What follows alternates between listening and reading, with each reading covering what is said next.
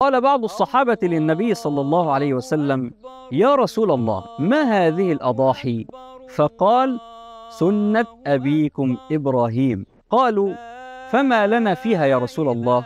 قال صلى الله عليه وسلم بكل شعرة حسنة. مع مؤسسة باب جنة تقدر تشارك بصك واحد في الماعز والضأن وتقدر تشارك بسهم من سبعة أسهم في صك العجول وهذا تطبيقا للشريعة وتطبيقا لسنة النبي صلى الله عليه وسلم.